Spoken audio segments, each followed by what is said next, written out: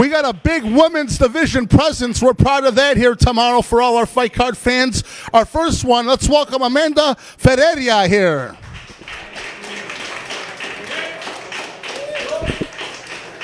Her opponent tomorrow, Alivia Bierley. Come on down, Alivia.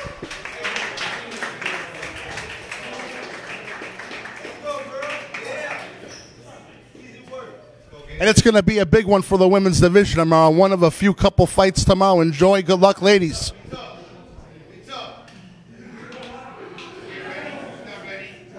Best of luck. Feather.